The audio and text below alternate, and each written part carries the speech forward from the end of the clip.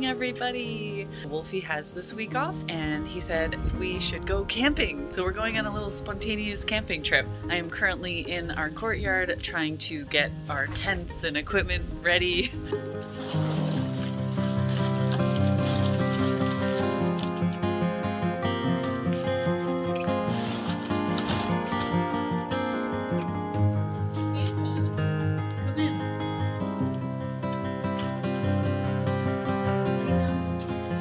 Wolfie said he doesn't mind carrying the big tent.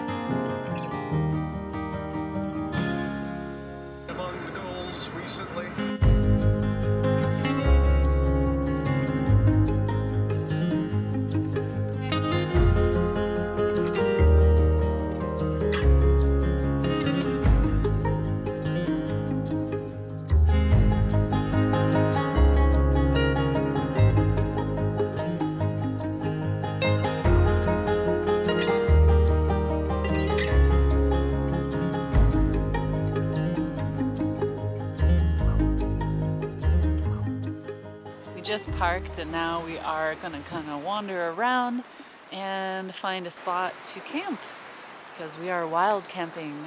It's a very windy day. There are a lot of signs that say extreme fire danger, so we won't be having a fire. I'm not sure where we're gonna go, but we're just gonna wander until we find a nice spot. We obviously don't have uh, the hikeable wild camping gear. We usually go car camping or something. Um, so someday maybe we'll upgrade.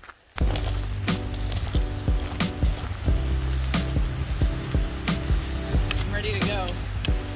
He pulled out like a samurai sword. The main support. Which one?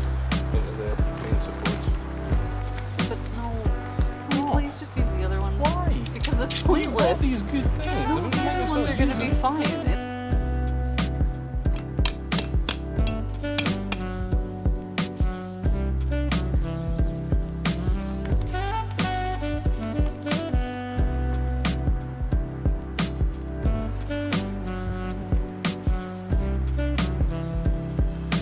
So I'm gonna get our nest ready.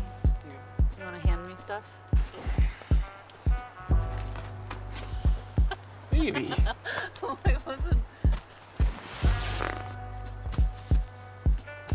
I got these mats at REI before I moved out of Colorado, and we've been using them camping ever since. They've been amazing.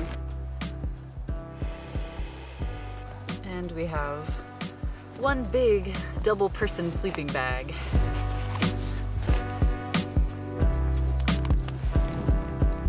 This bag is so heavy. So, milk for coffee.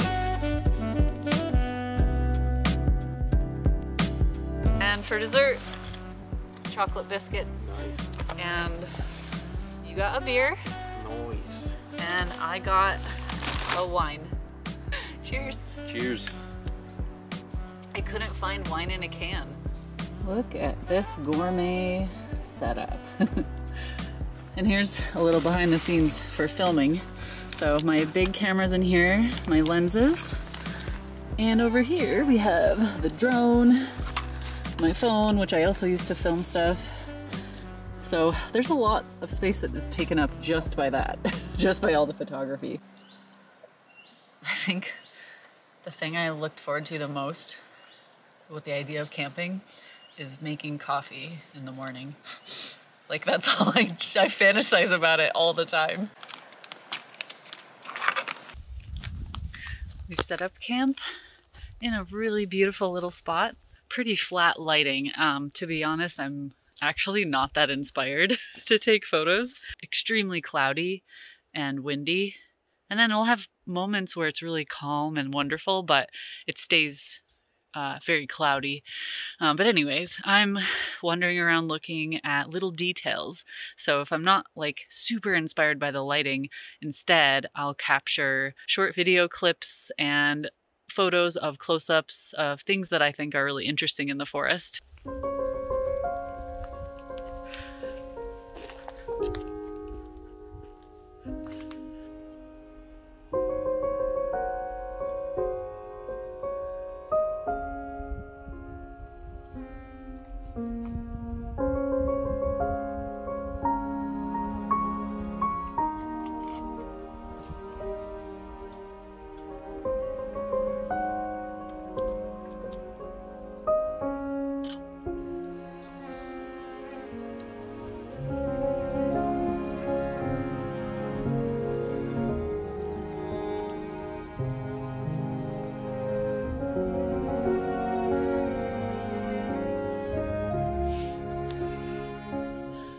One really good thing about wild camping when it's a little bit windy and a little bit chillier is that you don't get swarmed by midges. Midges are like the apex predator of Scotland. And if you don't know what that is, uh, you could Google it, but they're just basically teeny, teeny, teeny, tiny mosquito like bugs. Like they're almost so small you can't see them. But if they find you and they're attracted to blood, they want to like suck your blood.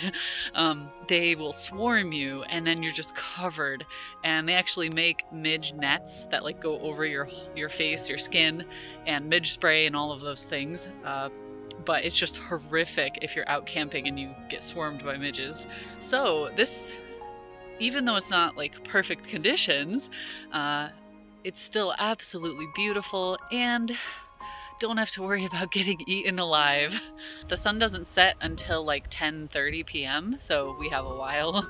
Oh, he's in the tree. I didn't see him at first. I was like, where'd he go? Spot the wolfie. He actually is pretty camo right now.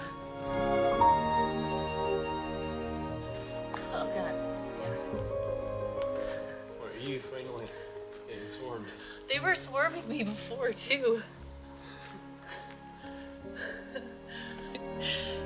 so uh, it's only 7:30. So I'm gonna set my alarm for like nine and just like peek out and look, see if it's nice. Otherwise, I'm gonna set my alarm for 3 a.m. The wind We're was supposed to die face- down, and We're facing directly east. we'll yeah, just- we'll see it right in front of us, which it'll should be probably amazing. blast us in the face. So.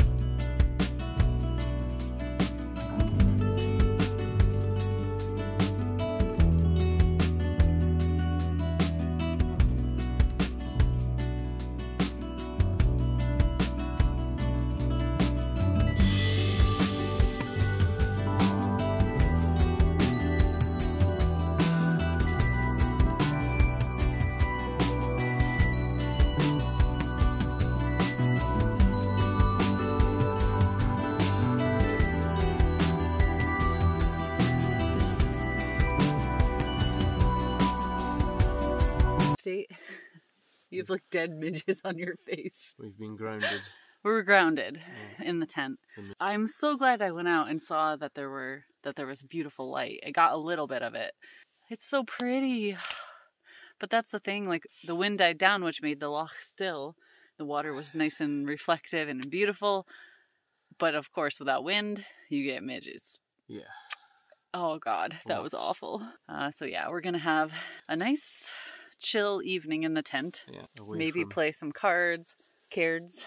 But you you play cards with carrots. You play cards with cards. Yeah. right.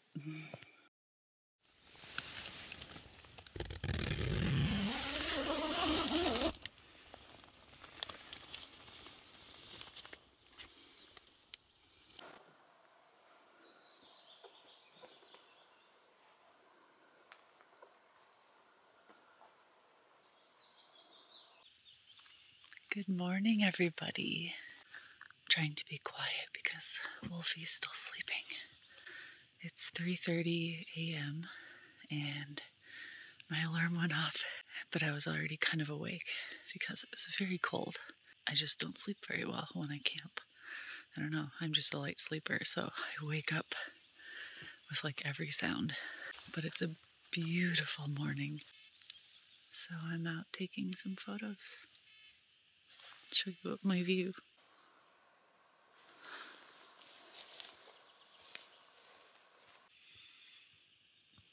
I mean, this is the reason to spend the night in nature, to see the fringes of the sun, sunset, sunrise. And we're only a few days away from the solstice, so sunrise is very early. 4 something a.m. I'm just having fun walking around, taking photos, but especially just enjoying this magical hour.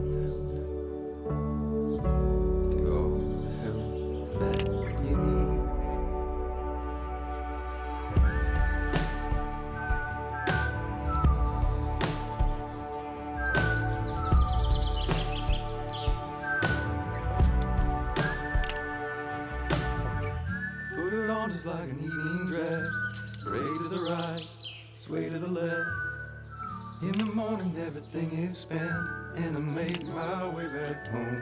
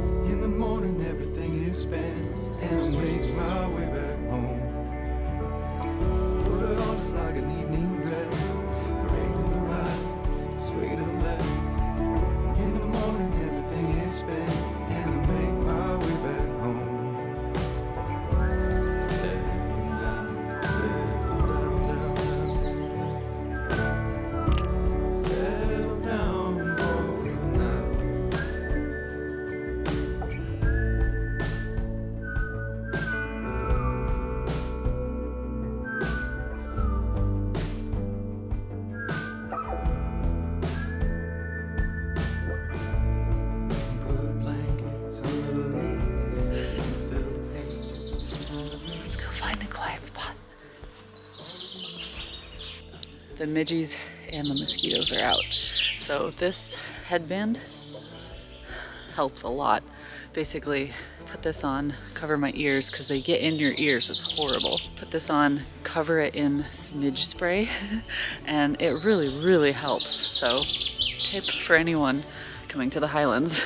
So, for this trip, I just brought my 85 millimeter f1.8, which is really, really light lens. Look how small it is. And it's super fast, super focus fast. and that is fun for landscape photography when you're just like moving around a lot. And then I also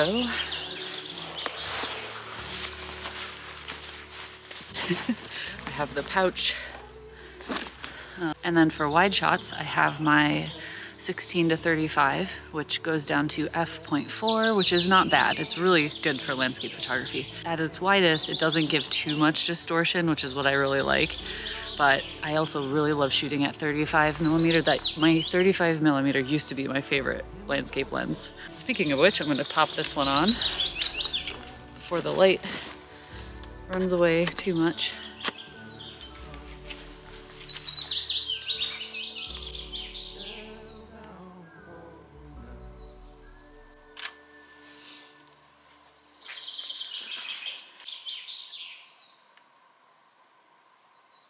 Suddenly very cloudy, so I might be done. I think I'm gonna head back to the tent and make some coffee and get out of get out of the mosquitoes and the midges. It's awful.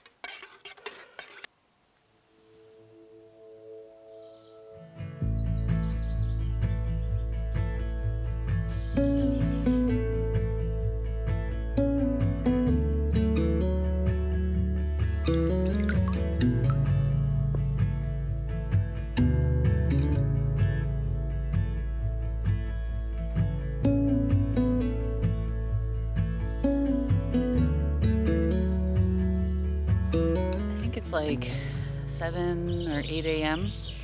and Wolfie's still sleeping. so he's definitely not a morning person. He'll sleep until afternoon if he can. and I am a morning person, so I'm always up early. And especially when camping, I just want to. I mean, I can't not soak all this up. That's why I'm here.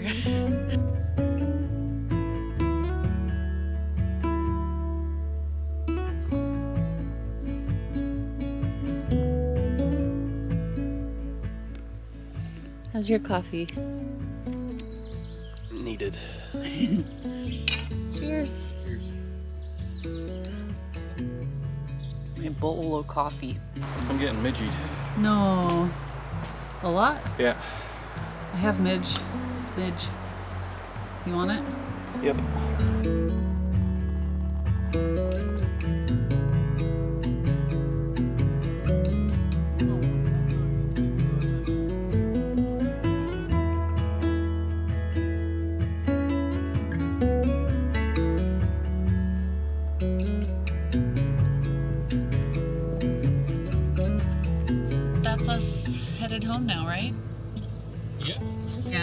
Two hours of sleep.